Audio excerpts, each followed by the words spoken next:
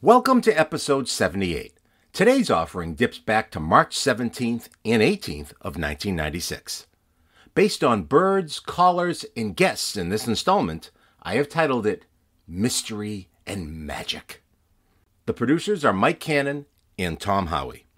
18 year old Mike training 22 year old Tom during a time of revolving door producers on the show, which Norm explained so well during a call. We begin with Norm riffing on a few subjects. I think we have a moment here where Norm is waiting for calls and is just going through news and info. I found it especially comforting just listening to Norm shuffle papers and tell us little stories and factoids from the wires. Simply soothing. St. Patrick's Day, birds migrating, the swallows returning to Capistrano, and Motown returning to Detroit are talked about here. We take some very interesting calls. Ruth Clennott gives us her review of Mr. Holland's opus. Now, Norm, you see, you know, you see, has not been able to see many movies as he's an advisor to the president as well as the State Department. He does a lot of traveling around the world putting things in order. She talks about community auditions where she was the auditioner, if that's a word, for 25 years.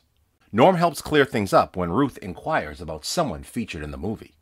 She also talks about Riverdance this, of course, was the early phase of the Riverdance phenomenon. She also said she heard Norm and I talking to Robert from Everett the previous night and was wholly entertained. Norm?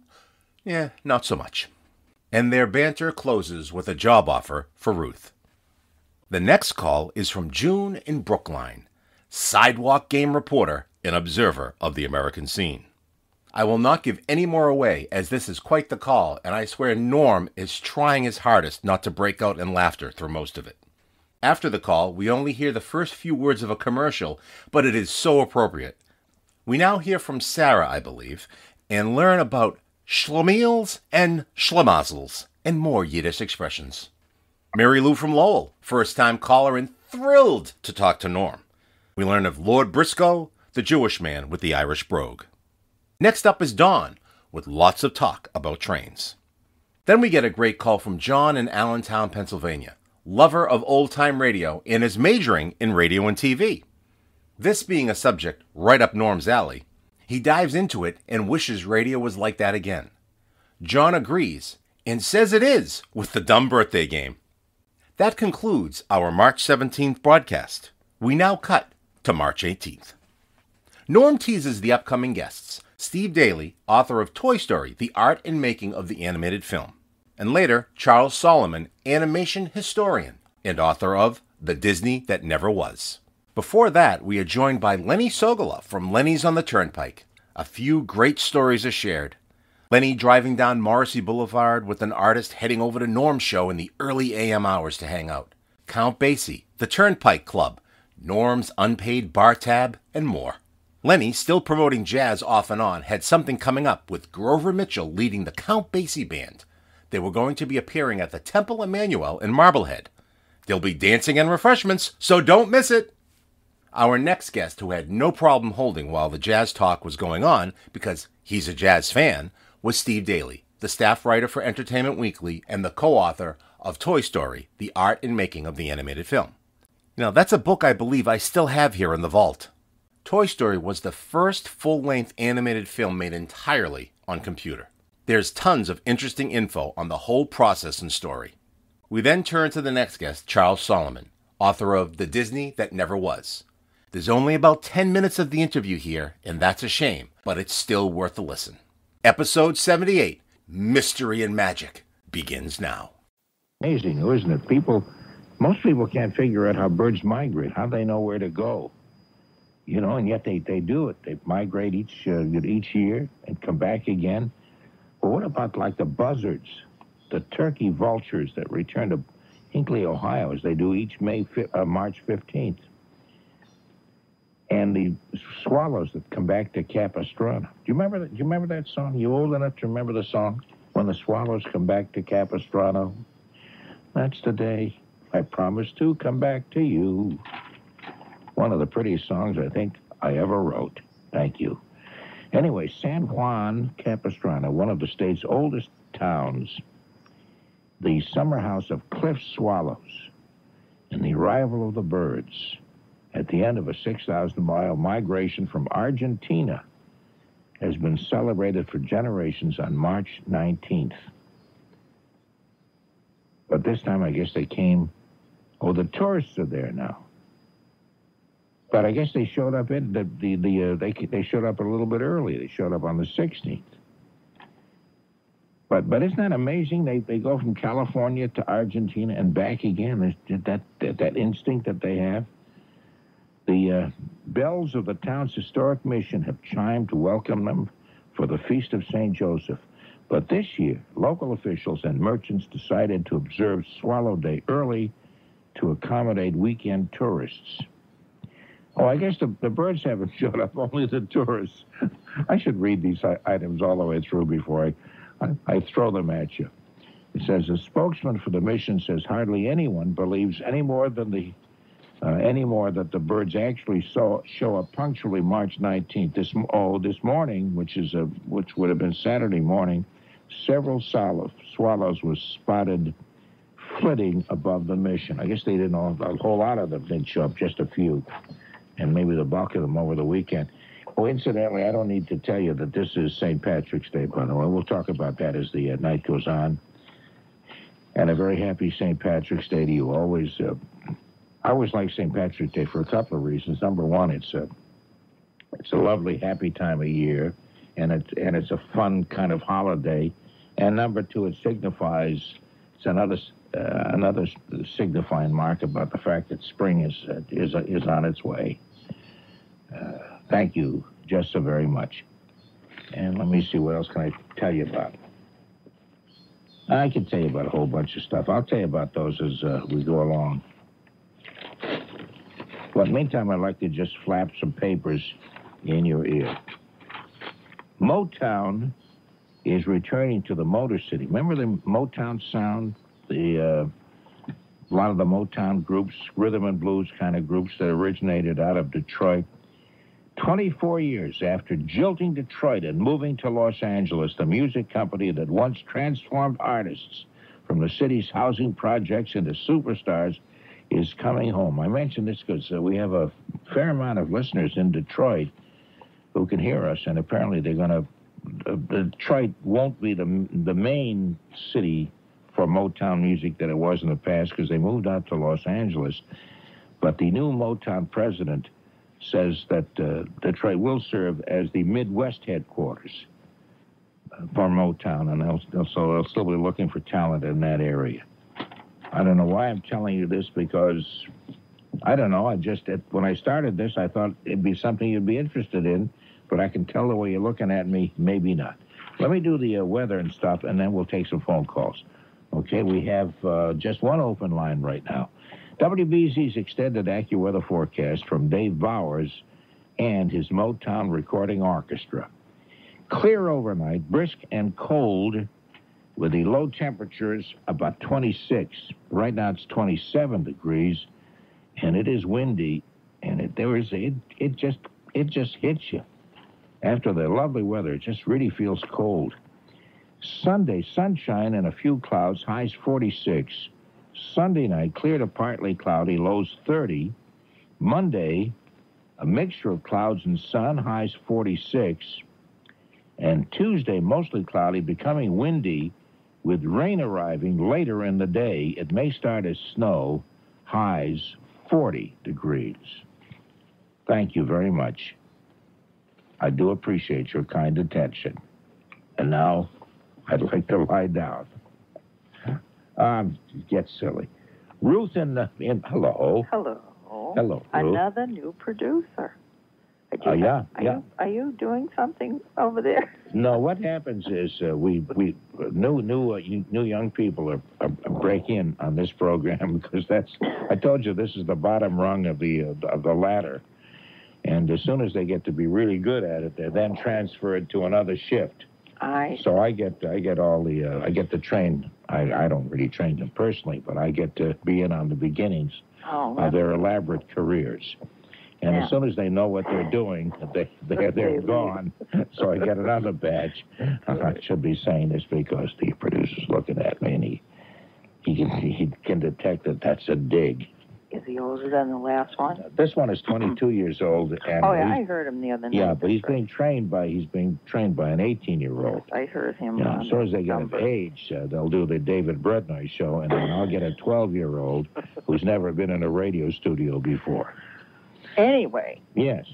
I just heard the end of that lady's interview, and I want you to know I went to the movies alone today. Did you? Did you make a little notebook? Yeah, And, and nobody stared at me. What can I do? But I'm giving you my Mr. Holland's Opus report. Okay, you that that's the movie you saw this very day. You didn't see it, right?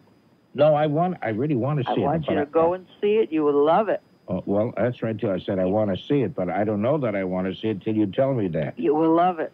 You will love it. Really A lot, of, wonderful. lot of, lot, um, more and more people have called and talked about that movie. As a matter of Mhm. fact, it, it, it actually surprised me because a lot of the songs that they did play in it, which I didn't expect to see, especially Louie Louie. Remember that Louie Louie? oh it used to yeah. be our record hop song. Yeah. that was one of the major songs. But I, I, I mean, everyone's talking about um, Nicolas Cage winning the Academy Award, of course, for uh, what is it, Leaving Las Vegas, which I didn't see. Did you see that? No, I haven't, haven't seen much of anything. I haven't either. This is my first opportunity, and um, but he really should win the Academy Award for Mr. Holland's Opus because he just was wonderful, just wonderful. And the person you're talking about is Richard Dreyfuss. I don't think we mentioned his name. Right, correct. I'm sorry, I'm not giving a great report. I'm tired tonight. Um, yeah, but it really was a very, very good movie. You will enjoy it. I, I wouldn't give it like a five, but I give it like a four. There's just a little things here and there. And the Boston papers have only given it two and a half stars. But what do they know, right? They don't know. If they knew, they'd be they'd be television people. They'd be Right. television critics. That's right. Yeah. But it also, an interesting thing, now if anybody knows the answer to this question, I wish they would call and tell you, even though I'm your reporter.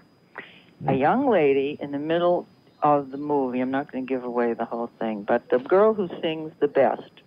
I understand there was a write up in some papers around here saying that she was on community auditions.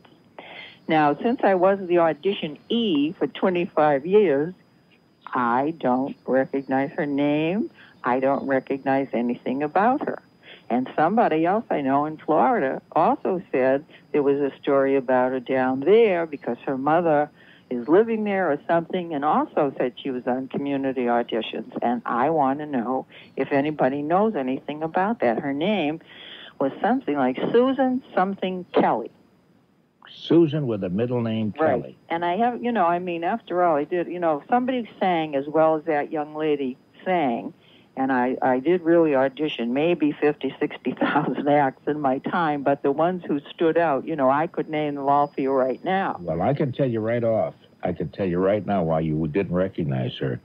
And she was on community auditions, but she was under the name Michelle Pfeiffer. no Henry Moscovich.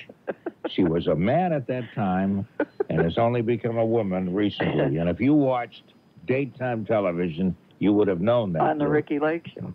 Right? And any one of them, they all do transvestites and all of that stuff. Well, the thing is, though, she might have been four or five years old, but at the time, because she looks about maybe in her twenties now. But even so, I if she sang that well, you know, had a good voice when she was four or five, I think I have a pretty good memory. So anyway, if anybody knows, that would be good. Now, the other question I have for you is: Yes. Did you see on any shows this week a group called Riverdance? I have not. Ah. I have to tell you.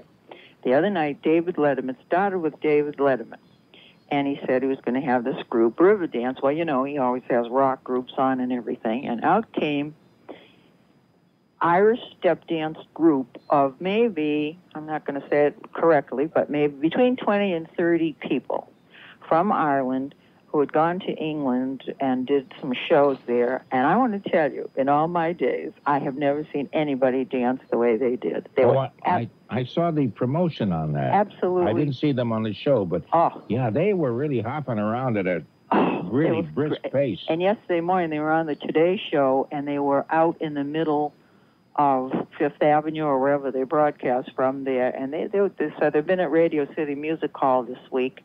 I'm giving you a good entertainment report, aren't I? That's wonderful. And they uh, they're just doing standing room only business. They did in London and here. They're just absolutely magnificent. Mm.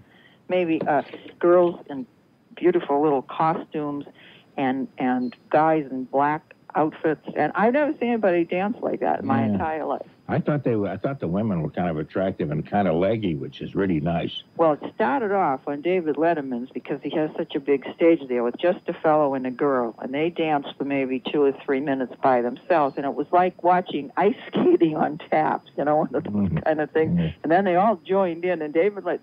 It's the first time on the David Letterman show in all the years I've watched it. Every person in the studio audience stood up and applauded at the end. Mm. He got a standing ovation. It was really great. Oh my goodness! And, uh, are they appearing other places? Do you know? Uh, that's always said Radio City Music Halls because of St. Patrick. Oh, okay. Well, okay. Well, that's that's week. good. No, that's that's the answer then. Right. Oh, okay. So that was my report, and I heard you and uh, Tony speaking to Robert last night. That was fun.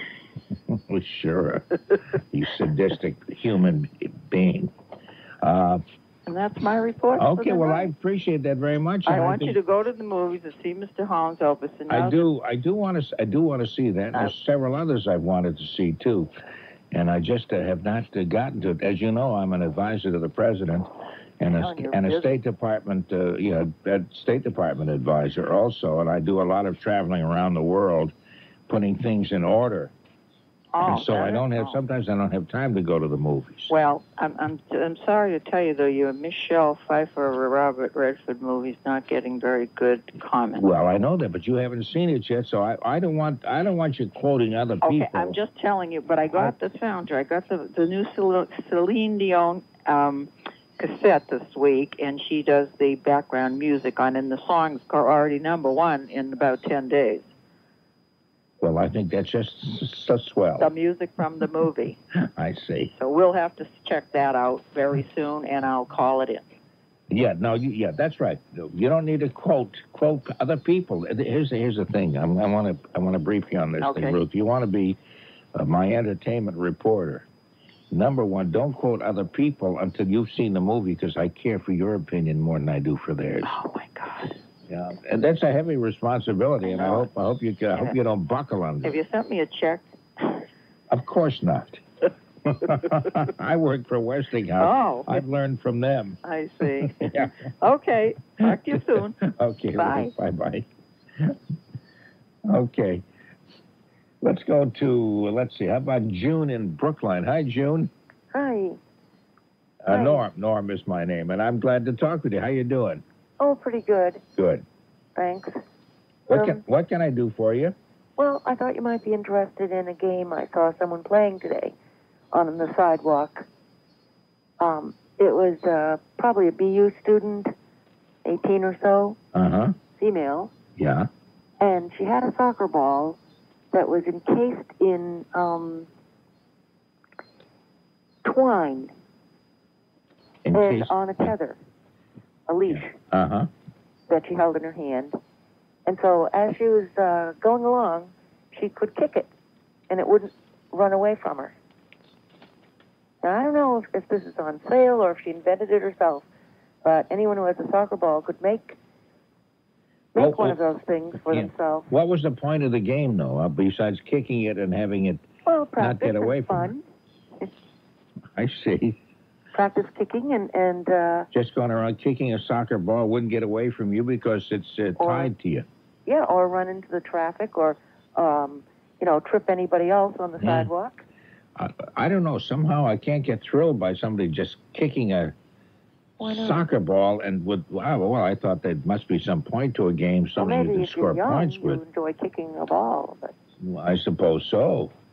If you've already kicked the ball so many times it's not fun no more, well, that's no, I don't know. story. Well, no, maybe get somebody else to be at the other end and uh, kick the ball at them. They'll kick the ball back at you. At least there'll be kind of a togetherness for a couple of people. But Mhm. just standing around kicking a ball all by yourself. no, not standing around, but you're walking along, going from one place to another Oh, I see. on How, how, how long was this tether? Oh, let's see, five, six feet.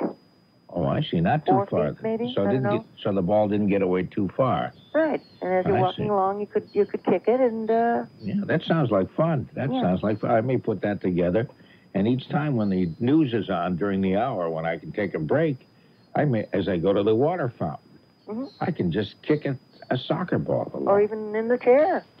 Even while I'm here, that's true. I could. Yeah, right. Hold on a minute. Let me check. I don't. Yeah, well, I suppose we. There's. There's. Uh, I'm kind of hedged in here by equipment and stuff. But I, I. We could probably find a place where I could just sit around kicking a soccer ball. You know, a few Huh? years ago, um, I saw a little kid on one of those sidewalk tricycles made of plastic, Uh huh. and his his parent, I guess, his father, or or a store had provided it with with a um, like a broom handle at the back Uh huh. that the parent could could hold on to. So this way, the child didn't um, go off the curve or run into e- elderly people or anything. Golly. could still ride ride his his or her little bike. Yeah, Golly gee, 'cause June, you are an observer of the American scene. And one more thing. Yes. Here's here's a game I invented for the sidewalk in wintertime. Yes. Um, uh, you take an icicle and break it in half so that you have two pieces, and then you kick um, each each um, each one with with one foot, alternating feet as you go down the sidewalk. Instead of kicking one piece of ice, you have two pieces, and there's one for each foot. oh, June. It's a city game. You know, any age can play who's steady on their feet. That's right. One size fits all. Mhm. I gotta go, June. That is the that is the silliest thing I've ever heard. Stop for a minute. is that a schlemiel is so clumsy that he knocks drinks over, and a schlemazel is the person that the drinks fall on. That's right. That's right. You've heard that. Yeah, uh, yeah, I remember it now, but I, I was trying to think of it when, when the word came up, and I, I couldn't think of that joke, which I think is funny. But there's a book, Philip, Philip Roth uh, wrote a book on, uh, on Yiddish. Have you seen that? It's an encyclopedia of Yiddish, and he explains all these terms.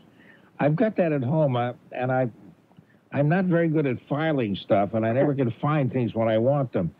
But he's got a lot of that, like schlemiel, schlemazel, uh, uh, schlepper, schlepper, which is different than schlep.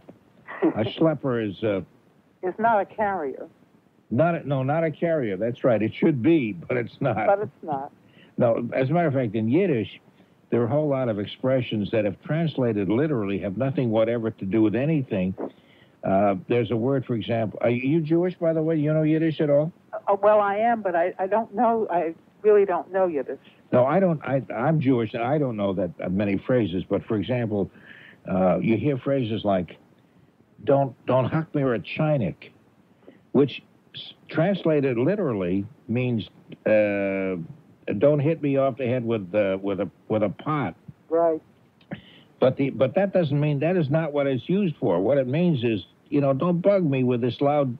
You keep whining and, and complaining kind of stuff. Right. Stop nagging. Yeah, stop, stop, nag. I think that's a better way to phrase it. But there are a lot of phrases. I would think that's that's probably true in a whole lot of languages, where uh, it, it certainly is true in English, where we have colloquial expressions that, if trans, you know, if you if you, you that don't mean what they mean literally. Uh, they don't. I mean, they they're used to express some other thought. I'm trying to think of an English expression like that. Well, a greenhorn. I don't know. Yeah, I guess I guess so. Uh, there may be some roots for all of that kind of stuff. A greenhorn is somebody who's new and uh, hasn't uh, ex- hasn't really become acquainted with the ways of a society as yet. He's still kind of new to that society, and it's kind of almost a uh, almost like we call him a farmer or something like, which is not probably not fair to farmers. But A there are expressions. I But but it, but a hayseed, yeah. Yeah. See, you have a better way of summing things up than I do. And, and this is supposed to be my business, and I'm really rotten at that. That's kind of, you're shaming me. No, I enjoy listening. okay. I, I appreciate that, Sally. But that's kind of funny. We'll have to have a whole program on Yiddish ex- because I think maybe maybe because I, I and I don't know the language. I really don't know it uh, well, but I know a few phrases, and those few phrases are so descriptive and so wonderful that I that uh, that it's it's kind of fun to use them, but you have to, and, and there's no way you can explain them. Right. Uh, and that, I'm sure that's I know that's true in every language. There must be must be some great ones in Irish and uh, in Gaelic rather, and Italian and French that when translated don't seem to make any sense at all. Maybe some of your listeners will call in and tell us some. I think so. Yeah, we'll be going off the air in about 20 minutes. We won't have too much time, but maybe that would be a great topic for some night. We can we can spend an hour or so just doing that. I think it'd be fun. Anyway, thank you for the joke, and I appreciate you filling in an area that I just uh, that just went out of my head totally. Good to listen to you. Thanks a lot, Sally. Bye bye. Okay, let's go to uh, Mary Lou in uh, Lowell. Hi, Mary Lou. Oh, I'm so thrilled, absolutely thrilled to be talking to you. Oh, gee whiz, Mary Lou. Stop Yes. that. Stop it. I'm a first time caller, I'm glad you called. Thank you. and I just wanted to tell you I am a Polish descent myself. But when I was a single school teacher, I used to travel to Ireland during the summers, and it was my favorite place to vacation. Mm. And there was an uh, Irish um, Lord Mayor of Cork of the Jewish persuasion, and his last name was Briscoe. Briscoe, that's the guy. That's the guy. I couldn't think of his name. That's right. Yeah, That's right, R I S C O E. I remember when he came to this country. It's kind of funny. We expect we kind of stereotype people, and yet, yet whatever religion you are, you can live in any country. It's true that in Ireland, and uh, most people are, are Irish. I know there's the Irish and the Protestant problems and all that kind of stuff, but in, like in Poland, most people are Catholic. In England, most people are Protestants, and and so on. But but that that that isn't uh, you know exclusive. You can be English and you can be uh, Catholic, and you can be uh, you know that Irish and be cat and be Protestant. It doesn't usually happen. So you, so you can be Jewish and still be Irish. And Briscoe came here, and of course talked Irish because he was Irish. Mhm. He had a brogue. He had red hair and the whole business. and uh, and people were astounded by all of that. The fact that uh, he he wasn't what you he wasn't a stereotype. Eh, You know, maybe I'm not maybe I'm not phrasing it quite correctly, but but they couldn't believe he was Jewish if he had an Irish brogue, and there's no reason why not. His, his nationality was was Irish, even though his religion was not. But that was his name. Was it Lord Bris- Briscoe? They call him that or Lord something? Mayor. No, but but Briscoe was his last name. I do Yes. re- I do remember that. Yep. And somebody told me that there was a mayor of of of Rome at one time, whose last name was the same as mine, Nathan.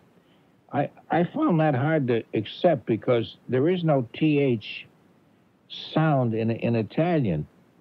So I don't know. You know, I remember I used to introduce an Italian language announcer, a, a very dear man, and he he did the whole program in Italian. I would say, now here he is. Here's your host. Um, I forget his name was Solimene. Yeah, this is way back. And I, Signor Solimene, Mister, S- you know, and then he would take it and say, "Grazie, Signor Nathan," because he couldn't pronounce the th because that's that's not part of Italian. So what am I talking about? Have you any idea, Mary Lou? I think I went off the track here somewhere. Well, I think in Gaelic too, they don't pronounce the th's In what language? in Gaelic. In Gaelic, Yeah. they, they they don't have a th either. Yeah. Mm-hmm. All I know is that, uh, yeah, I don't. I'm, I was thinking of a. Do they have a th in in Welsh? Welsh, they have about uh, nine thousand letters. It's like uh, it's like Denmark, Danish. You know, unless you're born there, you never. Nobody can ever learn Gaelic, I don't think, or Welsh, or Danish. Those are such impossible languages to learn. But it's an interesting study, though. Anyway, I, anyway, I'm I'm rambling on in a really stupid, meaningless way. I appreciate you reminding me of Lord Briscoe. I, I'd forgotten, as you heard, I've just had forgotten about his name, and I think he was the one who was trying to switch the people, or at least to get them to drink more milk. I think he was part of that campaign at the time. Maybe that's why he never got reelected. I don't know. Right. Hey, thank you very much, Marlo. It's a pleasure to talk with you. Happy St. Patrick's Day. Happy St. Patrick's Day to you too. Bye-bye. bye bye. Yeah, one one is this morning is the one I guess with uh, Billy Bulger will be at the uh, in in South Boston with his annual St. Patrick's Day. They had an animated cartoon of a new train that's supposed to run to, from Boston down the Northeast Corridor. Yes.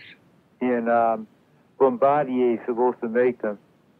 You know, Bombardier is uh, made the trains for Montreal, and they also made the Arctic Cats and the Ski-Doos. That's their claim to fame. And Mm. they made the LRVs for the Portland, uh, Oregon transit system and the new Red Line trains. Now, when are they supposed to be put into effect?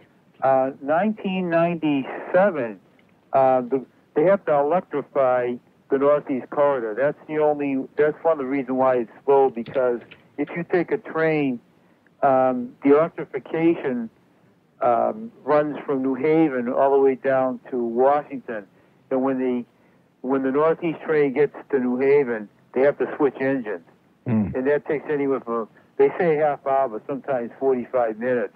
They have to run an engine out of the the yard, hook it on, then they um, say if the train is uh, I don't know, say 10 cars long, they tell everybody in the first two cars or the last two cars that goes up Springfield up that way.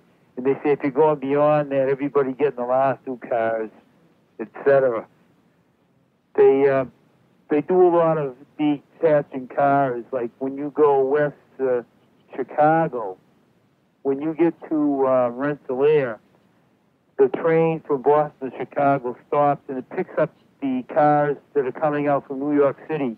People who want to go from New York to Chicago, their cars have to be detached in Rensselaer to go west. Hmm. When you're coming east, they do the opposite. They say everybody going to New York City and point get on the last two cars. So the train comes east from uh, Chicago through uh, you know Pennsylvania, to, uh, up New York State. When it gets to Rensselaer, they detach the cars, Hmm. and the cars either hooked on a train from Albany down to to New York City or a train from Toronto or Montreal. Do, do we have uh, uh, tracks that are in good enough shape to take a train going 150 miles an hour? No, they have to redo them. So, so it's not just a question of uh, of a of a train that can go that fast. It's a question of having the tracks to be able to accommodate them. Yes. Right? Is that is that uh, that? It sounds like a huge job to have to do that. Is it? Yes, it is. It's, it's especially in our quadrant because I um, I think the fastest trains in the Northeast. I mean, outside of Europe, I think they're in the Philadelphia area. Uh, my sister used to live in Philadelphia. We took a train to Harrisburg, which is 104 miles away, and the train did it in an hour and 55 minutes. Hmm. And those trains were in Philadelphia. They have the fastest uh, rapid transit. They have the uh, Norristown train that does 70, uh, 75 miles an hour. That's a Hmm. transit that does all local stops. So But wouldn't it be great if you, you pick up a train in Boston, say you're going to New York, and you get a train that goes 150 miles an hour? What would, what'd that take you? You you could, and you'd end up right in the city. That would be a faster trip than by plane. yes, um, they found that out in Europe too because um, see, in this country is meant to is meant as it is. Like if you're going to California, naturally you take a, a plane, but the the um, you you'll say like um, Massachusetts, Connecticut, in New York. If you're over in Europe, you're going through three or four different countries, and they're roughly like uh, the same distance as Providence and Boston. So a train like that fast could get there faster than a plane because logically you can't take a plane from Providence to Logan. But if you take a plane from um, Logan to New York City, you have to get out to Logan, whether by rapid transit or by cab. You have to wait for the train, the plane to taxi out, hit New York City or uh, Kennedy. Then you have to wait for a cab or a plane to take you back into the city again. That's right. Yeah, so a train would make more sense than a train going at that speed. I, I, I don't know. Do you do you see the uh, you see that coming about?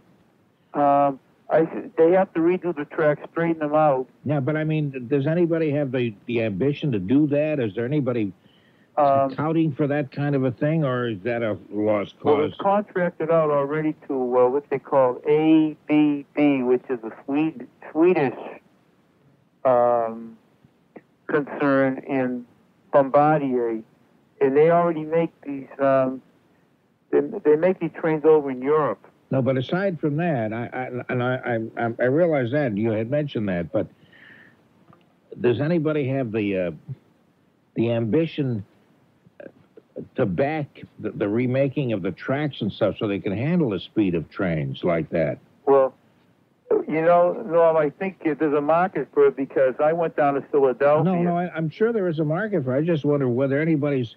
I don't hear anybody say anything like that about we, you know, we must institute Well, fast rail travel and all that. I wonder if anybody really cares. Well, the government owns it. They, um, like in Europe, the government owns most of the railroad, and they're trying to keep people from using their automobiles. And it's so bad. Like when I, when you go down on a three-day weekend or a holiday, there are people standing, college kids actually laying on the floor. I mean, I never seen that in Europe. You have to step over, and you think you're in a college dormitory. Where's this? You're talking about This the. is a northeast, our northeast train going from between um, Boston and Point South to Washington. Okay, so so you're saying there is a market for this? yes, especially. Okay. Well, I hope so. I, I I've got to move along, but I I, ho- I I hope that happens. Okay, Norm. I would love to see 150 mile an hour trains, you know, safe trains going from here to wherever. It would make it would make a whole lot of sense. I guess I, I don't know how much financial sense it would make since I'm not the one financing it, but I hope that happens. Anyway, thanks a lot for the information, Don. Uh, John in uh, Pennsylvania. Hi, John. Hi, how you doing? Good. Thanks for hanging in there. I'm sorry to keep you waiting so long. no problem. I I just appreciate the show.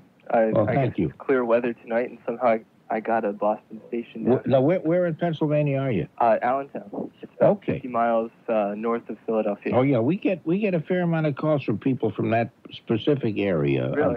of, Pennsylvania. Yeah, Yeah. Pittsburgh and Pennsylvania and Philadelphia both have Westinghouse stations that are Uh-huh. very close to us on the dial. So people in those areas, we- we're kind of blocked out by the local stations. But around Allentown, Harrisburg, Right. uh, in that general area, we, we seem to do a little bit better. Yeah, I'm, I'm always on a constant quest for uh, old time radio shows. Oh, really? You don't usually find them, but uh, No, we don't. We don't. We don't. We haven't done that here No. either. I do a talk on old time radio. yeah. Uh, with it, with with this is not on the air. but This is you know before before groups, and with excerpts of, uh, of those old shows and discussions, all that kind of stuff. What kind of old time radio do you like?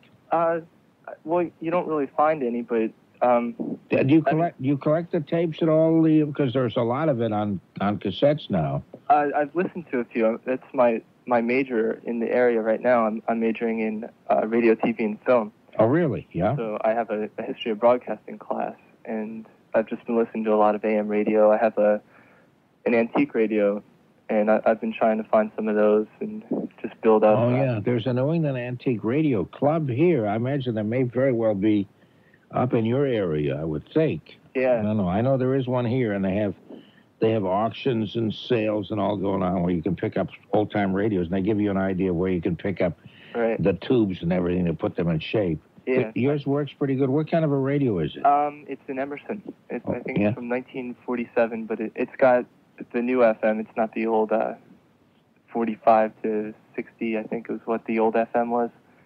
Um, so it's Hmm. still, it's a vacuum tube radio. Found it at a, at a yard sale for about ten dollars. Oh yeah, and it, it was it working when you got it? Yeah, yeah, it works. It's just missing two knobs, which are impossible to find. Oh yeah, yeah. but I Uh, but more and more people seem to be interested in that stuff. I think it would maybe end up like like old time cars. yeah, I, where I really you know think- where there are companies who who manufacture uh, you know can duplicate the the equipment for old time cars so that you can always get stuff to to fix it up Right. I, I really think there's uh, a lot of people my age that would really be into it, especially listen to the radio. Uh, if you have an interesting show, kind of like yours or uh, Garrison Keillor, it keeps you awake on the highway. I mean, oh thank you that's that's that's nice uh, we do get a lot of calls from young people particularly oh very often musicians who are on their way home from a gig or you Yeah. know to actors or whatever and uh, old, there are some old time radio shows that are really quite good and that do hold up very nicely mostly the class acts like jack benny and fred allen right. and uh, some of the uh, some of the early Henry Morgan stuff. A lot of people are not aware of Henry Morgan, or if they are, they think of him as a guy sitting in on these panel shows as he did on television later. But that the, the early Henry Morgan was really off the wall and really nutty. I mean, he he'd make Saturday Night Live look like uh, I don't know the the Longines Symphonette, or I can't I can't think of another comparable thing. But there was some some incredibly good, a lot of boring stuff too that that was not so great. Right. But I but uh, I play some some of the stuff in the uh, the thing that I do, and there's a there's some Fred Allen stuff that could have been written this morning, and you would you would find it hard to believe Right. that that was broadcast like 50 and 60 years ago. Well, it's all timeless. We're, we're still using cliches from then. so- Well, I mean, uh, this this was incredibly clever, clever humor. And Benny, well, he was the same Benny. You know, he, he was in later years in television. A lot of those shows are really incredibly good.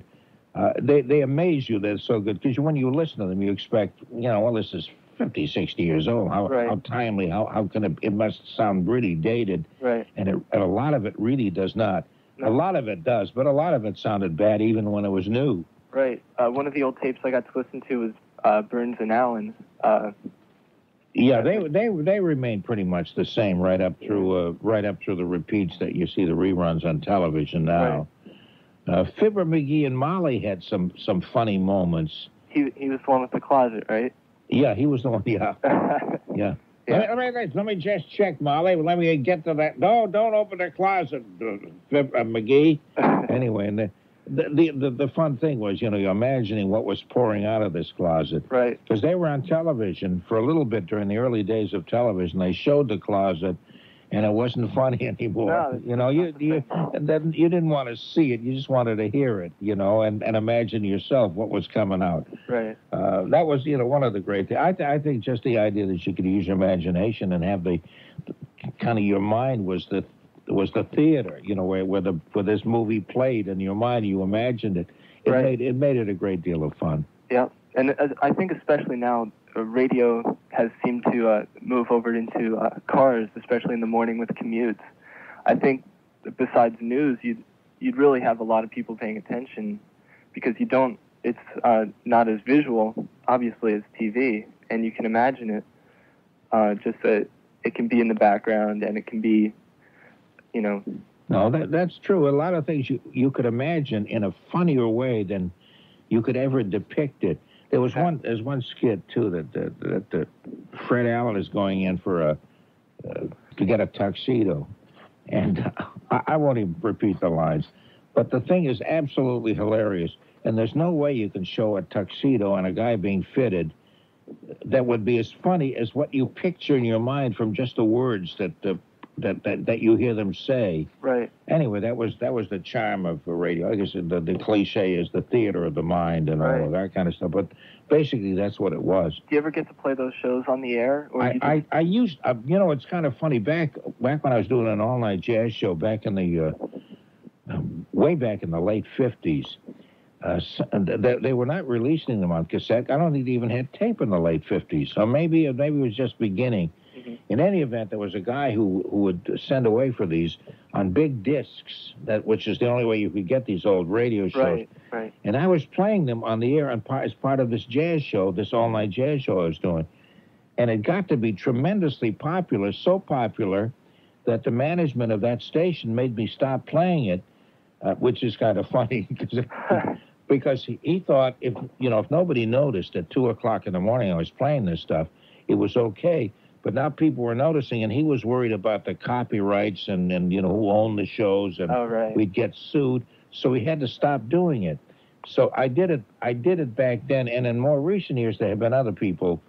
Uh, now that now that they're much more accessible on tape and cassettes and all, more more of the guys have been playing it on occasion. You still don't hear an awful lot of it, and uh, some of it that they play is not uh, not terribly funny, like the Great Gildersleeve, and there are tons of others that older people remember with fond memories. But if you hear them, you have to say that boy, that really wasn't funny. Right. Uh, Jack Benny was funny, Fred Allen, all these other things we're talking about, and uh, some of the mystery shows were kind were kind of interesting too. Uh, some some great writers. I'm telling you, and you're taking a whole course in this, but there was a writer named Arch Obler Okay. The who- Uh, the Fall of the City. Did he write? Yes, he did. He did. He did one movie also. I don't remember ever seeing that, or if I did, I don't recall it. But he wrote radio drama. I thought was a genius. I thought he did some absolutely fantastic work Right. that I guess would hold up today. That would, then they were tongue-in-cheek kind of shows like Vic and Sade and and of course Bob and Ray, who originated here in Boston. I thought were one of the best exports we ever had from Boston. They were great. hmm And so there was radio. Radio did some some wonderful things, and I'm sorry that we're not doing such wonderful things anymore. It's- Oh, but you that the stupid birthday game. That, oh, thank I think that's very wonderful. okay. I just I just think at this time of the day, maybe people are tired of people screaming politics at each other, and maybe we ought to just giggle a little bit every now and then. People need to talk more. What do, what do you plan to do uh, with with, uh, with with this communications course and all the, the Uh, stuff that you're doing? Well, I don't know. That's the the cool thing about it is you can do just about anything. So I, I like shooting video. I like editing.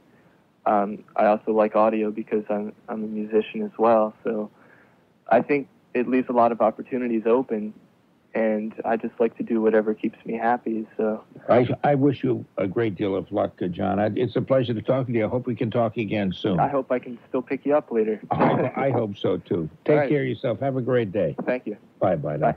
Time for us to say goodbye. Uh, on behalf of uh, Michael Cannon and uh, Tom Howie and uh, Tony Nesbitt, the lovely Marilyn Gorelick, myself, the exciting and not be exciting, why did I say that? The almost good looking Norm Nathan person. has some interesting people I'd like you to hear tonight. So if you can join us, we'll be talking about uh, some of the Disney works that never got aired or never got uh, featured at all and a whole bunch of stuff like that, okay? Very happy St. Patrick's Day. Hope it's a good day for you. Bye bye, old sport from WBZ Boston. That concludes our March 17th broadcast. We now cut to March 18th.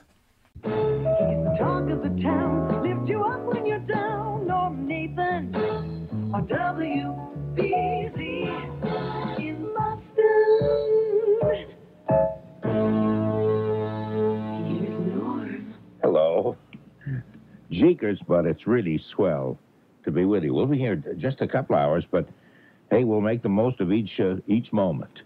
And a couple of interesting people. One is a man named Steve Daly, who uh, writes for Entertainment Weekly and is the author of a real fun book called Toy Story: The Art and Making of the Animated Film, and will take us behind the scenes and give us the inside story on the production of this uh, history-making motion picture, Toy Story. Uh, and also, we'll be talking later on with uh, Charles Solomon, uh, who's uh, an animation historian. That, that's got to be a very specialized field, isn't it? There aren't too many people involved there. Uh, an animation historian uh, who has written a book called The Disney That Never Was. So we're going to do, do a lot of talking about Walt Disney. And we'll, we'll get to both these guys just a minute. I won't brought in uh, some of the greatest names in jazz for uh, an awful lot of years. And we'll talk with Lenny in just a minute, and then we'll talk about Disney right after that.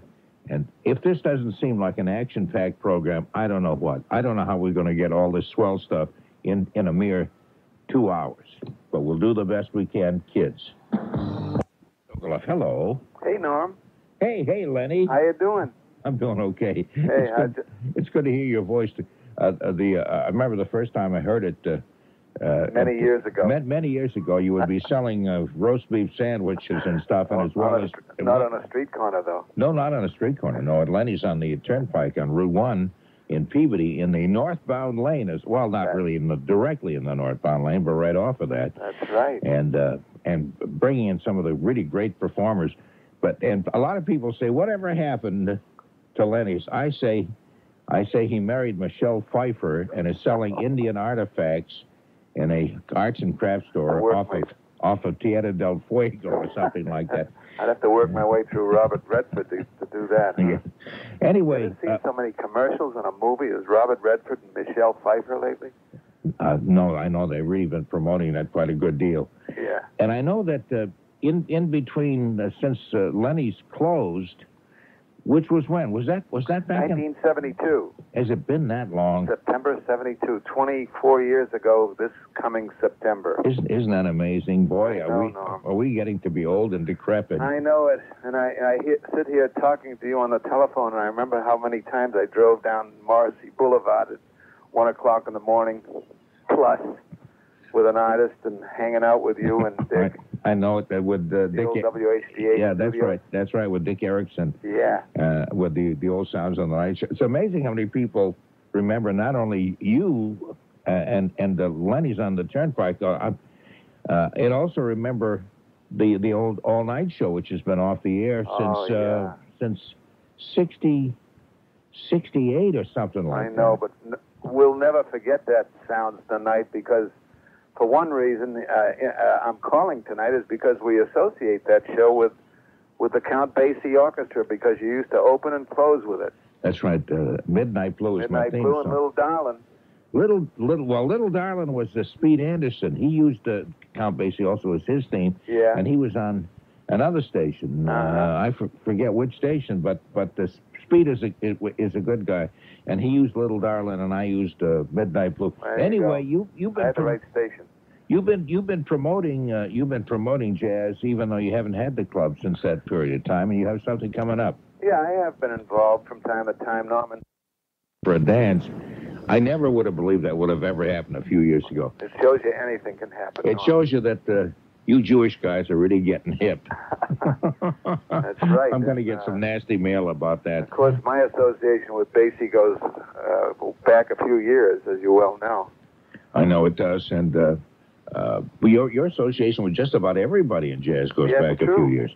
Uh, and uh, we were talking on the on the phone a little earlier today. and You were mentioning all the performers who, people who sang with Basie, for example. Incredible, huh? Eight, uh, let's see, three, six different vocalists that were featured with the Basie band from the inception of the band in 1935 when it came out of, uh, well, it began in Kansas City. Jimmy Rushing and Joe Williams, of course, was a band in the 50s. Bill Henderson sang with the band in uh, in the 60s, and of course, touring uh, with the band Jimmy Witherspoon and Arthur Prysock. And of course, O.C. Smith in the 60s uh, made his debut with the uh, Count Basie band. And these are people who all all performed at your club. All featured at the club, right? Yeah, yeah. Good taste, huh, Norm? No, you you you had great taste. I really missed I missed the club at, at a, a good deal. And I know, uh, and you used to be in there too. I, I caught you there many. In fact, I Oh. have a bar bill for you.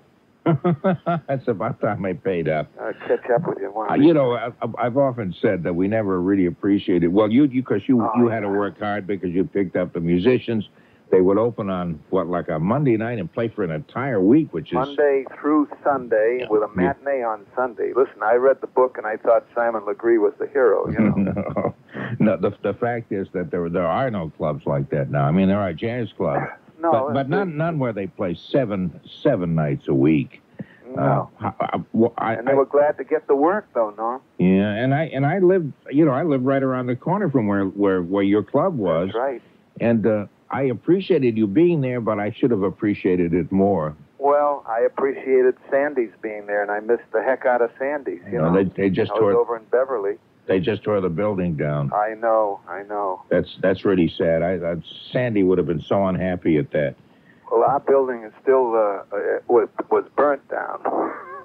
Yeah, n- n- I I I, I want to one one night soon. We have to do a full fledged interview because I want to talk with you about your years uh, from from the time when uh, Lenny's on the Turnpike was known as the place with the the hippest uh, jukebox in the world. The Turnpike Club. Yeah, the Turnpike Club. That's right. And and when you started booking live talent hmm and all that, and and how you went on then to, uh, to internationally known big jazz people and all of that. Time But- for a review, huh, Norm?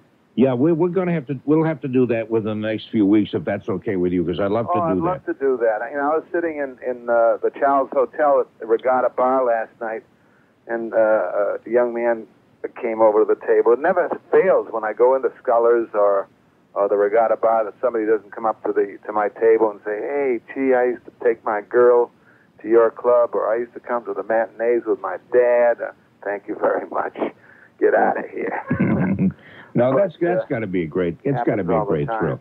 No, it's got to be a great thrill uh, for you to, because every anybody who likes jazz at all, unless they're under the age of two months or something, you know, Right, remembers we Lenny's. should do that some night. I want to make make sure that your listeners out there, I know, I know, I know their their age bracket is into Count Basie. Uh, anybody who loves blues and loves the ensemble uh, big band sound certainly remembers the Basie band, and that legacy is continuing. Norm, you know, uh, even though uh, uh, Bill Basie passed away a few years ago, guys like Eric Dixon and Thad Jones and Frank Foster have led the band, and now currently Grover Mitchell will be leading the band into uh, Temple Emmanuel. Okay. I hope they've all been bar mitzvahs. mention mention again the night this is going It's to be in going to take place a week from tonight, Norman, uh, March 24th. And can I tell people where they can get tickets? You certainly can. Uh, tickets are available at the Temple, which is on uh, Atlantic Avenue in uh, Marblehead, or at Photographics, a very fine video shop at uh, Benton Square in Marblehead, Arnold's Art Gallery at uh, in, in the Old Town of Marblehead. And, do you know, Gene Arnold does a great jazz series himself during the summer. And uh, either Sunglass Hut at Liberty Tree Mall or, or the North Shore Mall. Excellent. Okay, week from that's a week from tonight. Uh, Temple Emmanuel, which is on what's what what street is that Atlantic Avenue. Atlantic Avenue. It's one of the main roads through Marblehead. in, in Marblehead, a quiet little Jewish fishing village. north, south of Swampscott, north of Swampscott, south of Swampscott. It's uh, north of Swampscott, I North of believe. Yeah, that's, right. I'm turned around here. okay. You're looking at it from the Salem uh, s- viewpoint. if they want to write a telephone number down, Norm, uh, I'll give them this number: uh, 508 745 1140. If they want ticket information. Okay, 508 is the area code, and then 745 1140, Right. and uh, you'll get information. and it's going to be a great night. It's going to be a, a, a great sound on the North Shore, and people will be able to dance and have refreshments. It's an old-fashioned concert and dance. That's right. And when and when you can hear the Count Basie Oh band, yeah, uh, by all means, don't miss it when it's so Wanna- close to us. one o'clock jumping, jumping at the Woodside, all the oldies plus a few of the new ones. Great, excellent, excellent, Lenny. And we'll be in touch because I, I I do want to talk in great detail some night about all the people that you've met and all the people that you know, well, I'd have love performed. that, Norm. You know, I would like that very much also, Lenny. And good luck. You hope a lot of people always get a to. pleasure talking to you, baby. Okay. Take care of yourself. Have a good night. You too, Len. Bye bye now. Is the uh, staff writer for Entertainment Weekly, author of Toy Story, the art uh, and making of uh, the animated film. And uh, it's a fascinating book, and I'm delighted that uh, you're, you're on the air with us, Steve. Thank you very much. And Oh, thank you, thank you for hanging in there, too. I appreciate that. Sure thing. Well, uh, any any jazz plug is of interest to me. Are you, are you a jazz fan? Uh, I should be much more educated about it, but I'm uh, rather uneducated. But I am a fan. No, if you're a fan, that's okay because the education comes uh, comes along as long as the interest is there. I appreciate that because I used to do a jazz show a few years back, and Huh. it's still the kind of music that I love a great deal. You know, a fellow here at Entertainment Weekly whose name is David Hajdu, who is a general editor here, has written a book about uh, Billy Strayhorn. oh, really? Out a couple of months. Yeah, really terrific piece of work. Oh, the uh, the great uh, Duke Ellington uh, uh, sideman and, Correct. and composer, not only just sideman, but Correct. composer. Yeah, he. As a matter of fact, he wrote a lot of things that uh, people think Duke Ellington wrote because they wrote sort of wrote the, a similar in a similar vein. Uh, some some magnificent stuff. What, now, what is the book called? It's called Lush Life. Oh, And, Lush uh, Life. I'm sure my editor would be thrilled. I'm here on the air giving him a plug. oh, oh, because it's uh, coming out in a couple of months. okay, Lush Life by Billy Strayhorn. I got to dig that up. Oh, the author's name is David Hajdu, but it's a it's a biography of Billy Strayhorn. Okay, now how do you spell Hajdu? H A J D U. I bel I don't know if it's Czechoslovakian or it's he's of some Eastern heritage. Okay, okay, we'll have to look at it because Billy's uh, Lush Life was one of the great jazz classics. Uh, there were a whole series of drinking kind of songs about people who took to drink because they had had un, unhappy uh, uh, love lives. Well, and Strayhorn was a terrible alcoholic. In fact, he uh, he I, I believe he like lost his stomach late in life. He literally was on some sort of you know almost ghastly uh, sort of intestinal hookup where he, uh, you know, it, it ruined him. The alcohol. Oh, I, I, I never, I never realized that. I thought, I thought Lush Life.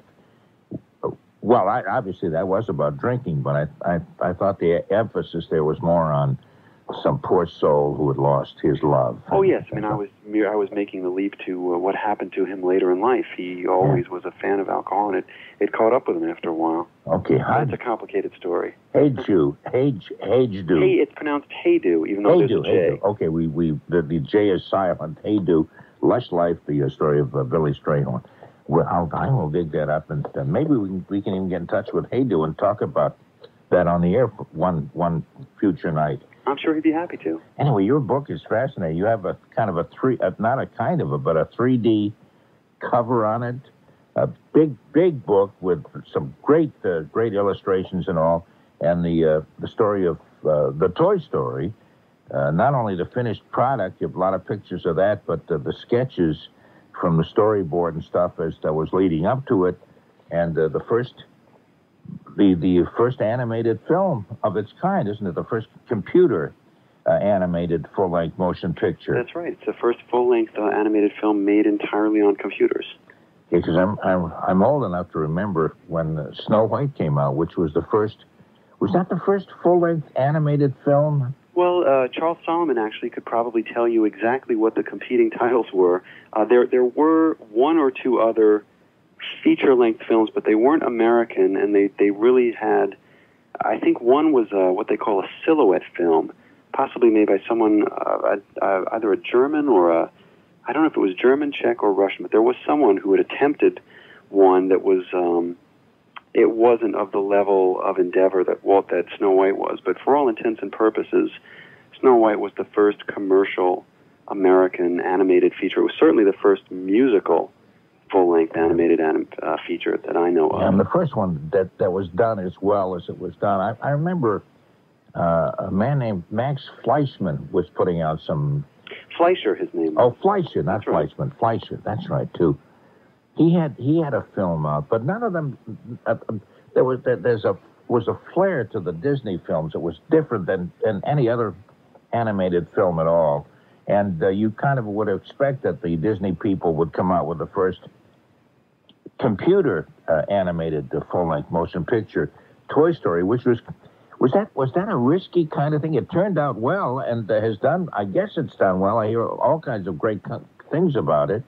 Well, again, you know, Norm, I'm a, I'm a little prejudiced because I spent a lot of time with uh, dozens and dozens of artists. I mean, I think there's a staff of about 110 uh, who actually put this film together, and I was lucky enough to spend a good chunk of time with them as we were putting the book together. Not as much as as everyone might have uh, liked, but uh, enough to to get all the flavor into the book. Um, in fact, the movie is a collaboration between the Walt Disney Studios, who produced it, put up the money for it, and supervised the development of it.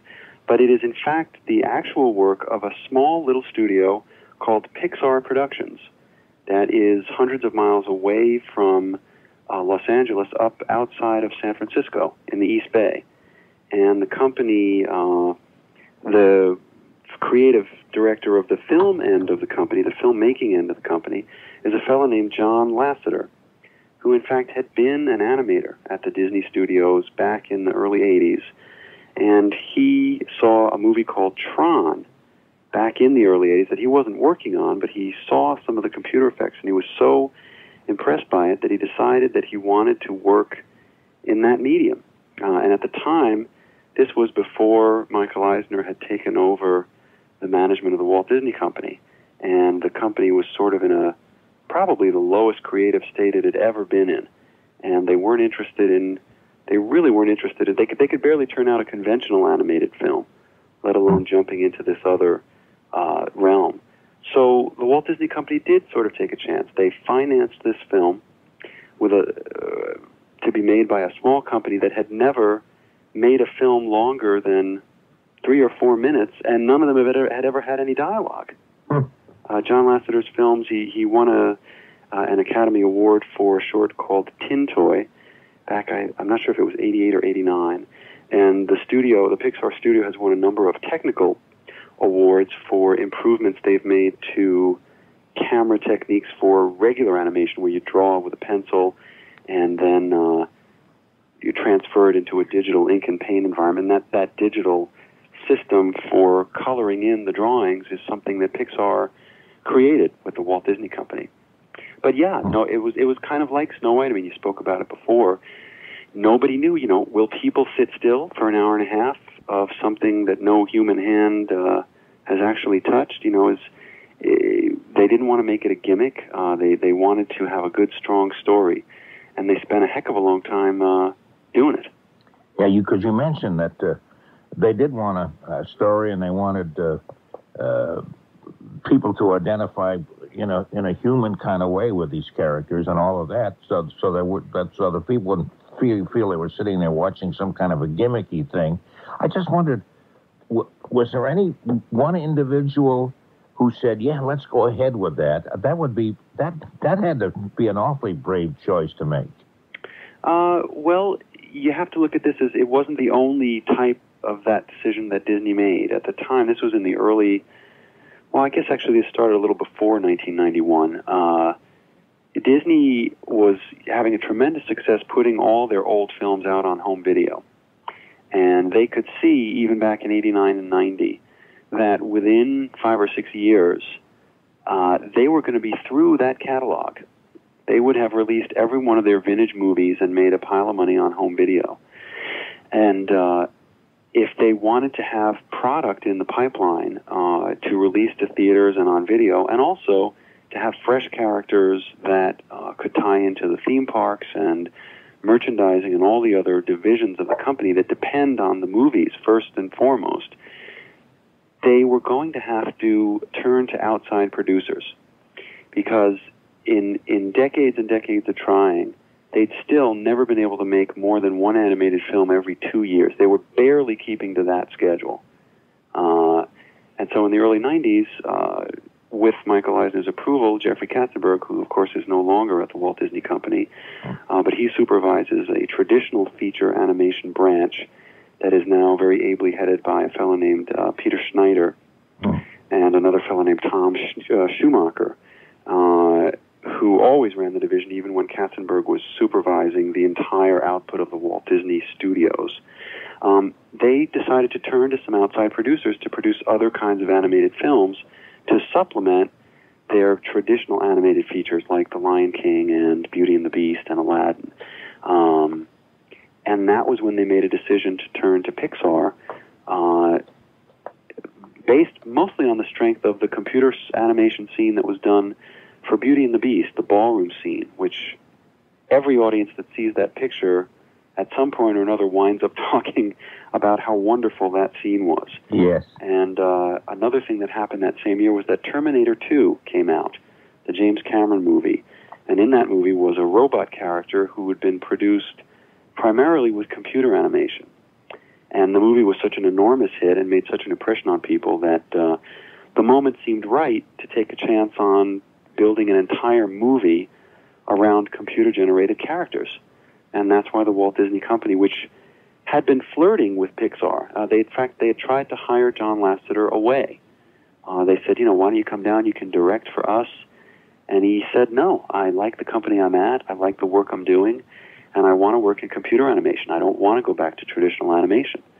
And he stuck to his guns. And they finally came to Pixar and said, we will make an agreement with, with you to finance the films and we'll control the merchandising and the release uh, but you will actually produce the film, and that's what happened. What what were the uh, major problems that they went through uh, while making this this uh, film? At, at first, you you were, you were saying uh, you you had written in the book that there are kind of a lot of uh, individual scenes that maybe weren't tied together enough, or there wasn't a proper flow, or every everything they did though, everything that was done for this film was done like for the very first time, and I wondered. What kind of problems you face when there are no guidelines, really. You're making your own. Well, you know, we started work on the book last, uh, a little over a year ago, and uh, at the time, it was just about the time when everyone at the studio was finally, it was finally sinking into them that this movie was really going to work. Uh, they had just beginning, they were just beginning to see finished footage because computer animation is done in a sort of hierarchical series of steps where the first thing you see when you're working as an animator are these incredibly rough sort of abstracted versions of the characters you're working on. Hmm. So you're, you know, you got executives looking month after month at these stick figures, and it's very difficult to imagine what the finished product is going to look like. In fact, if you look at the book and see what those early, what they call polygonals, you know, they're made out of polygons. You look at it and you think, this is, you know, what the heck? This is looks like a child drew it. yes. it's very hard to imagine the finished project uh, product, and that was a tremendous pressure on these people all through the process. It's hard enough to make any kind of an animated feature work uh, because you so much depends on the voice actors, on the gestures, on uh, uh, weaving a good story together. Weaving a good story together is, is very difficult in any medium, but in this medium, where you really don't know how much the visuals are going to affect what your story is, it was doubly difficult. Um, and I think because they were under so much pressure and so much scrutiny, they had a harder, even harder time of it than some of the Disney traditional features have had. There's always a point where the story can get difficult. I mean, on Beauty and the Beast and on Aladdin, there were there were points in the development of those films where literally almost everything that a team had spent one or two years making was thrown out. Hmm. Uh, at one point, Jeffrey Katzenberg sat down and looked at Aladdin. I think about a year before it was actually completed, and said, "This is junk. Nothing's working. The main character is uninteresting. He's absent. He's not even in his own movie. Uh, we've got a mother character who's uninteresting. We've got a genie who's terrific but doesn't show up till halfway through the picture. And he basically threw out half the movie. Uh, the same thing happened with Lion King, uh, which was put through some 11 or 12 previews uh, while they, they really fine tuned and honed. Basically, rewrote the ending three or four times. And the same thing happened to Toy Story. Uh, after about a year of story development, they were just about to begin final animation, you know, or to begin the animation process of the entire film, which first is done just on sketches, on little sheets of paper that look like index cards, like if you were writing a term paper back in college. They stick those up on bulletin boards, and then they photograph those as little still frames, and they run a, a dummy soundtrack to it in order to see, well, here's roughly what the finished movie is going to be like. And they try and work out as much as they can before they actually animate it because it's incredibly time consuming and expensive to throw away any finished animation. The goal is don't ever animate anything until you're certain it's going to work and it's going to be in the movie. Well, when they put together their first version of what they call those story reels, it was a disaster. Uh, Tom Hanks had already been hired as the voice of Woody, this little ragdoll cowboy that this little boy has who is very jealous of another toy called Buzz, who's a spaceman, uh, who's voiced by Tim Allen. And in the early versions of these stories, Woody, the idea was that Woody was a character who was going to find uh, redemption. He was a very jealous, immature kind of guy who tries to get rid of a competitor and winds up having to work with this guy, you know, in the classic tradition of a buddy picture. And uh, and he's reformed. He turns out to be a helpful guy by the end of the film. Well, the theory they tried was, well, if he's going to turn into a nice guy, let's start out by having him be a jerk. and the character was such a jerk that on in November of 1993, John Lasseter and a number of the producers, uh, Ralph Guggenheim, Bonnie Arnold, uh, and a number of other key creative people went down to the Disney studios and sat down with uh, Tom Schumacher, Peter Schneider, Jeffrey Katzenberg. I believe Michael Eisner may also have been one of the people to look at it. And John Lasseter, who's, uh, by the way, the co-author of the book, uh, he recounted to me sinking down into his seat lower and lower and lower as this first story reel was unspooled for these executives who were putting up close to $30 million to make this movie. And he said, Steve, it was terrible. I, we were the first people to, to agree this is just a disaster. we have a main character that you don't even want to see for five minutes, let alone an hour and a half. Oh, dear. And Disney said, This is so bad that we're shutting down production until you rework the script. Uh, and you've got three months. I, it wasn't quite presented as an ultimatum, but the deal was, you know, there's only so many costs we can keep floating, and uh, there was a lot of tussling back and forth. Look, you know, if you if you shut down production now, we're going to lose all these animators.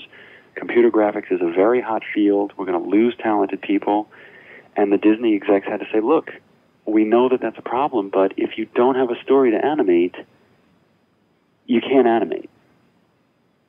So for three months, every day of the week, they worked and worked and worked. They worked over Christmas, they worked over New Year's, and by mid February, they had pretty much junked the entire first third of their original draft and completely changed around the opening scene, deleted a couple of supporting characters, uh, re recorded all the dialogue. Giving Tom Hanks completely different line readings and in many cases completely different dialogue. And it wasn't quite fixed by February of 94, but it was close enough that the studio said, okay, we can see that this is going to work now. And uh, Because even now, even at even at that point, uh, to say yeah, it's it's re it's it is it's, it's, it's been reworked and it's gonna it, it things seem to be working out okay now. To, to say that is something too, because you're talking about a product that has never been done before uh, on that scale. I'm, I know you mentioned that you know these computer animations have been done three or four minute uh, things, commercials, that kind of stuff. Oh yeah, and it's it's unknown ter- territory in every way. Here's an action movie. Okay, it's a comedy and an action movie. It's a buddy movie. That's never been done as a cartoon. Uh, another huge creative risk. This is not really a musical, and this was a major tussle between Pixar and the Walt Disney Company.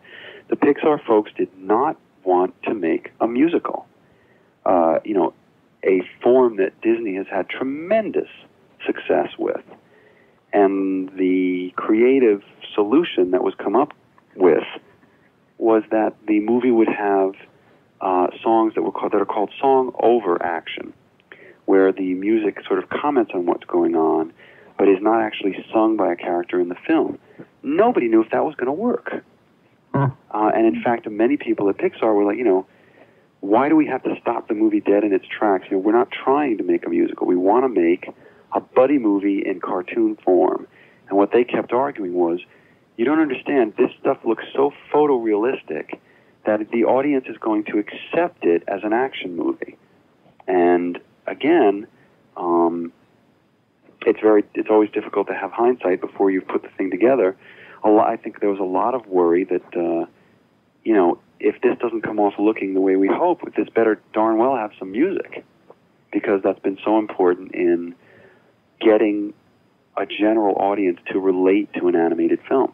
So it was a very, you know, I, I think that people on both sides very passionately, Disney was adamant that it be a musical, and some of the key creative people were adamant that it not be.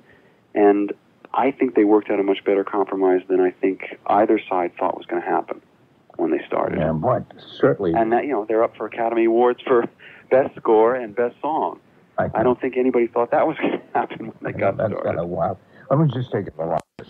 And uh, Steve is the uh, co-author of a book on the uh, on the Walt Disney film Toy Story: The Art and Making of the Animated Film, and of course the first ever computer animated full-length motion picture. And I always admire anybody who's ever connected with the first ever anything.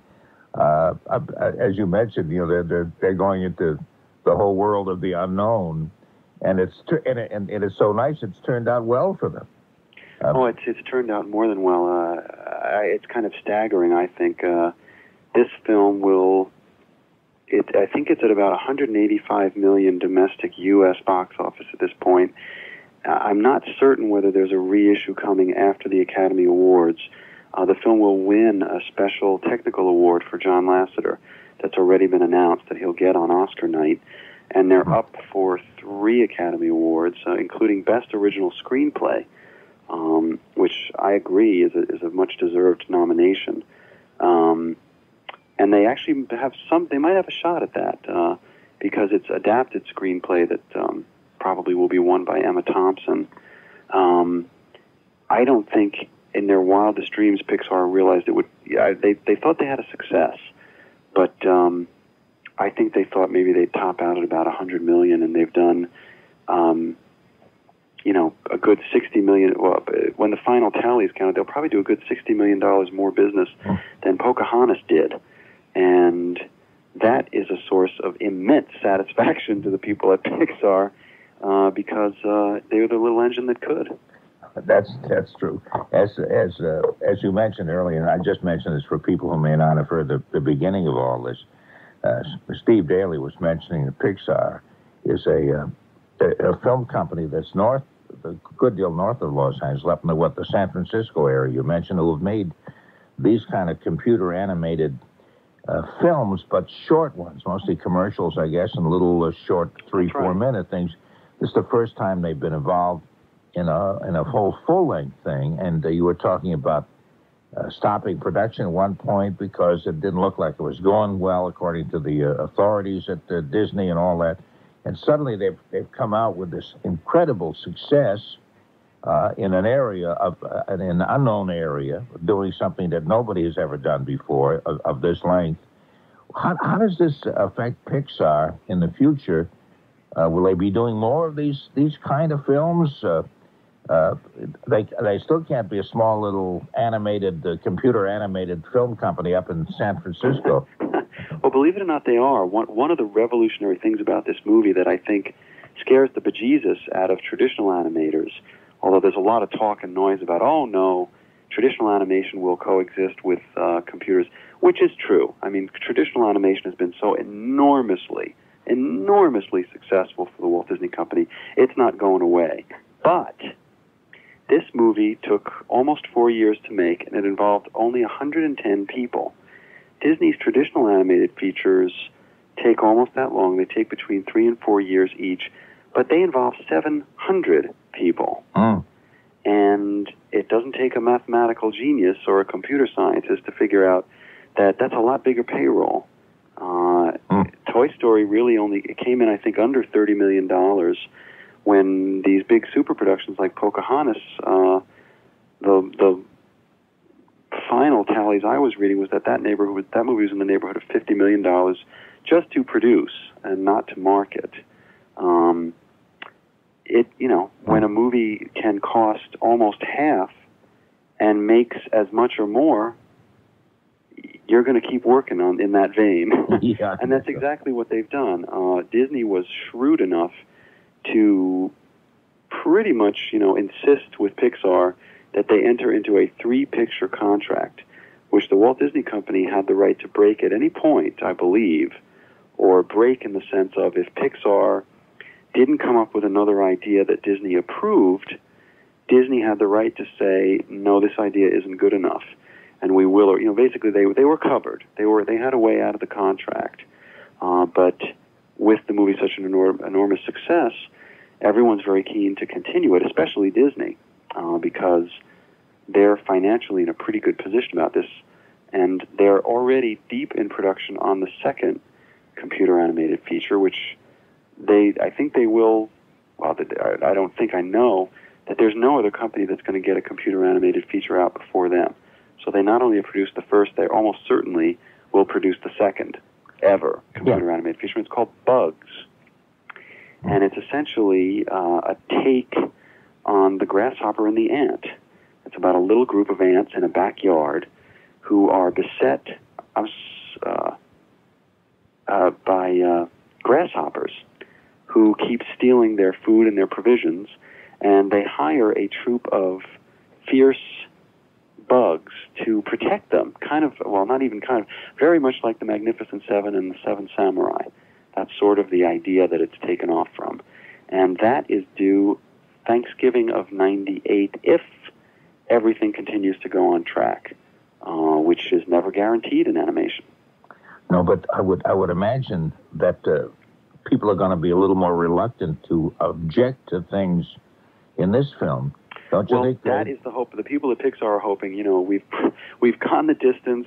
We've taken every punch you could throw at us. And again, the Pixar people are the first to say, if it were not for the story development expertise of some people at Disney, this movie wouldn't be nearly as good as it was.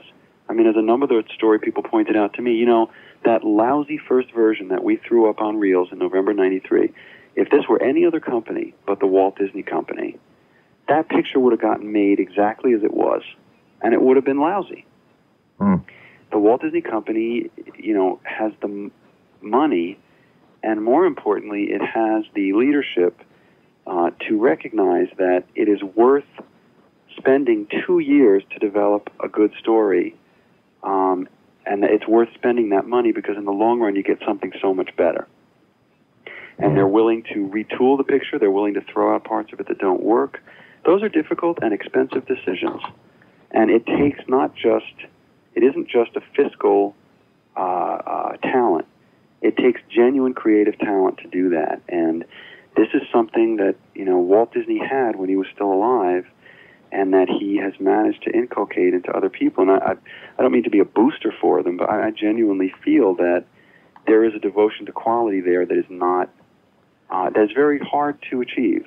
We're going to be talking during the next hour with Charles Solomon, who has written a book called The Disney That Never Was. This kind of Disney night.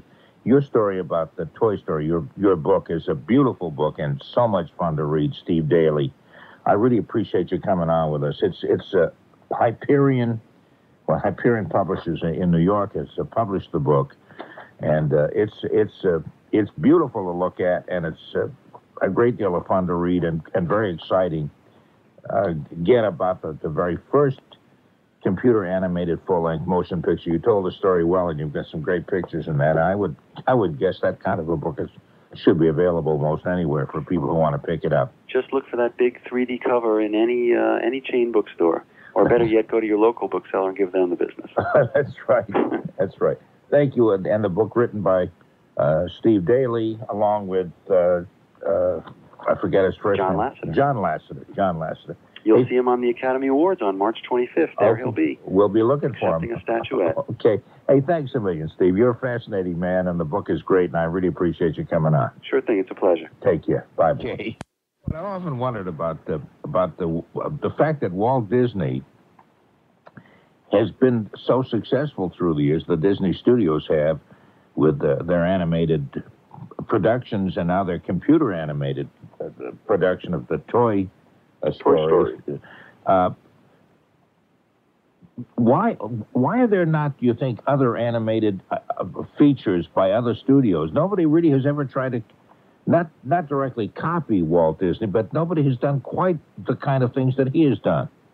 Well, I think a lot of the problem has been that people have tried to copy Disney instead of trying to copy his spirit, which was always to do something new and original. There have been a lot of animated features, especially in recent years, but very few of them have been very good. And you look at a number of them and you can see, okay, they're trying to do uh, Be Our Guest from Beauty and the Beast here, they're trying to do um, this effect from another Disney film there, instead of just sitting down and working out a story that needs animation to tell it. Uh, now, now, for example, I I've not seen other animated full length animated films. Maybe I've missed them, but I haven't seen them outside of the Disney studios. Um, there have been some, and you haven't missed much, frankly. Quite a few of them have come and gone very, very quickly. Um, in fact, several times over the last couple decades, up until this new sort of golden age, as people sometimes talk about it, there were periodic critical articles that would appear saying the animated feature was dead, that this last spate of films did so poorly that uh, you know the medium isn't valid anymore, et cetera, et cetera. And so, at the same time, they were also always predicting, well, we're, we're going to have a renaissance soon, and there are these new people coming up. So you had a medium that was simultaneously dying and undergoing a renaissance. Made for a very strange um, situation for a number of years. Now we, we I had I had the off the air woman had called. She was an animator. She said, and she she was a little concerned because she felt maybe the uh, the computer animation, uh, like in the in Toy Story, which was so successful and which is obviously cheaper than a totally animated film that is with animators and and, and artists and so on. Uh, that that might replace animation as we know it. Do you think it will, or, or will they both work No. hand in hand? Um, not at all. In the first place, I don't know that doing a film in computer animation is any cheaper than doing it um, in hand drawn, particularly not a film of the quality of Toy Story. But I don't see computer animation replacing hand drawn animation any more than photography replaced painting. You know, they're two different media and they have different strengths and different weaknesses. Um, what I think is the most exciting thing to come along with that technology is the use of uh, combining computer graphics and hand drawn animation to create something that otherwise you'd never be able to put on the screen. An example of that is the wildebeest stampede in uh, The Lion King, where you started out with one hand animated wildebeest and they were able to turn it into that enormous uh, herd stampeding over the cliff. Um, no one could have ever drawn that by hand, obviously. And if you had tried to do it purely in computer, it probably would have been stiffer and less convincing um, instead of having that believable kind of animal motion that it had. So um, another example would be the ballroom sequence in Beauty and the Beast, where suddenly you're swept into this kind of uh, magical world that's different from the rest of the film. Um, this is what excites me as someone who has to look at and write about animation often. This, uh, the possibility of just creating new visuals and giving the artists more tools to give us things that we haven't seen before. Yeah, I remember uh, uh, the uh, Disney studios also combining live action and animation. I guess that hasn't been done in too many Disney films, but the Un- Uncle Remus stories. Yes, uh, the Song of the South, Yes. and also in uh, some of the wartime films, uh, the ones about South America, where Donald would dance with the uh, the South American uh, women singing and dancing to uh, uh, some of the songs from that area. Oh, yeah, I was thinking of Gene Kelly now that, that you mentioned that. Gene Yeah, Anchors Aweigh. Anchors Yeah. Aweigh has that memorable scene. Yeah, Tom and Jerry dancing with uh, Gene Kelly, which was animated by uh, Hanna and Barbera before they went on to become, uh, you know, do all the Saturday morning stuff.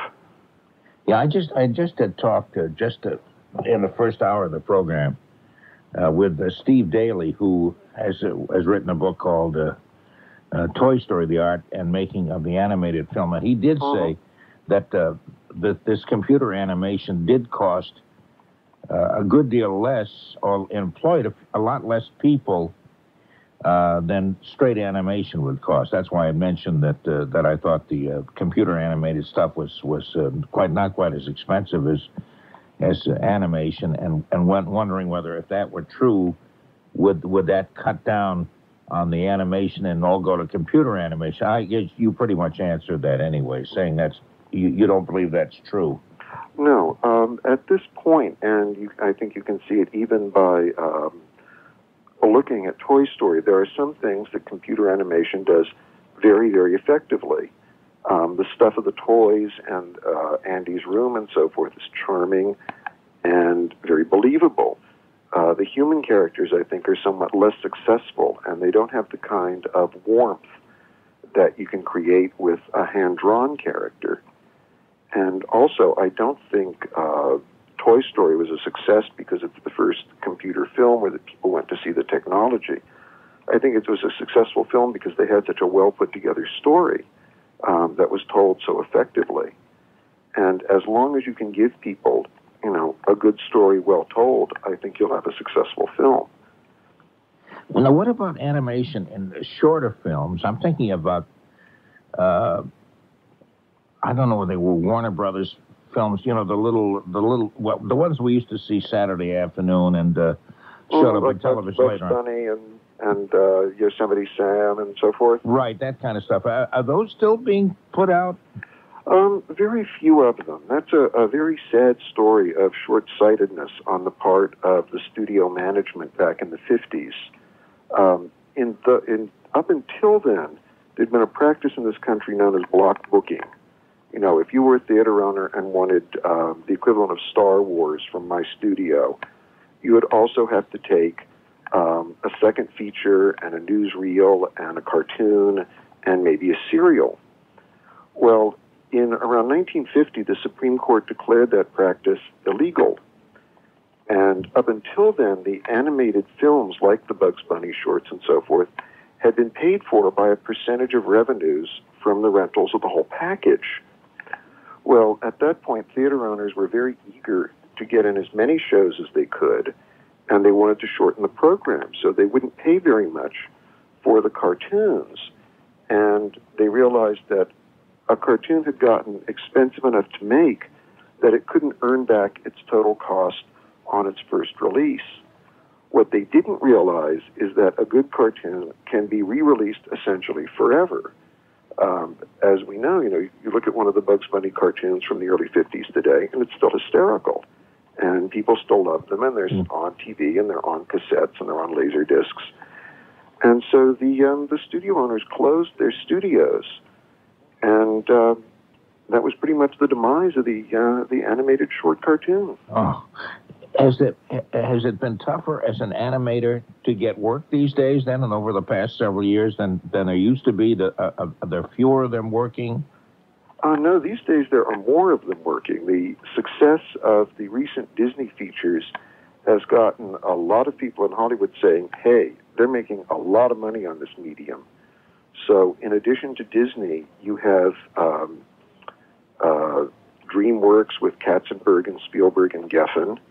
Uh, Warner Brothers formed an animation unit not too long ago that's working on a couple features. Uh, Don Bluth is supposed to be working on at least two features for uh, Fox in Phoenix. And so, for the first time in many years, it's really a seller's market for animators. And now the top animators, um, you know, can pretty much call their own shots, and they're bid on uh, by the different studios, and they go where they want to work, depending on what uh, who's offering the most money and who's offering more often the most interesting projects. So, um, after many years of drought, suddenly animators are very much in demand. And one of the limits on how many animated features we see is the fact that there simply aren't that many really good animators, the kind of artist who can take a character like uh, Beast or Pocahontas and make that character act through an entire film believably. Um, there are very few artists who can do that, and so that kind of puts a, a cap on how many quality animated films uh, that can be made at this point. Was Walt Disney was he the first to uh, to do the kind of animation? I'll see if I can phrase this right. You probably know what I'm going to ask anyway, and maybe I don't even have to finish the question. But uh, they were not animating the same way before Disney as they did as they have done since. Mm-hmm. Uh, I just, I, I just, I, I wondered uh, how he, you know, the the, the kind of, uh, I don't know, looking ahead or the the kind of uh, pers- perception he had to know that this was going to work out because nobody had done it quite the way he had done it. No, uh, Disney was someone who always wanted to take risks and go a step further and see what was beyond. He never wanted to repeat anything. That interview was just getting started. I checked the archives and could not find another tape that may have included the remainder of it. But I thought what was covered was very enjoyable. Gee, whomever booked Norm's show always did a great job. Please like, subscribe, and share from whichever platform you're listening on. Until next week, closing the vault and riding those animated pages home. For Migrating Birds, San Juan Capistrano, St. Patrick, Motown, Community Auditions, Breaking in New Producers, Illustrious Radio Careers, Richard Dreyfuss, Riverdance, the former Henry Moscovich, Sidewalk Games, Schlemiels and Schlemazzles, Philip Roth, Lord Briscoe, Senor Salamene, High Speed Trains, Old Time Radio, Henry Morgan, Fred Allen, Jack Benny, Fibber McGee and Molly, Burns and Allen, Vic and Sade, Bob and Ray, Lenny Sogoloff and Lenny's on the Turnpike, Tierra del Fuego, Midnight Blue, Speed Anderson, Sandy's and Beverly, Steve Daly, Charles Solomon, Walt Disney, Pixar, Dave Bowers, Tom Howie, Mike Cannon, Marilyn Gorelnik, and the host of the hippest radio show in the nation, Norm Nathan, I'm Tony Nesbitt.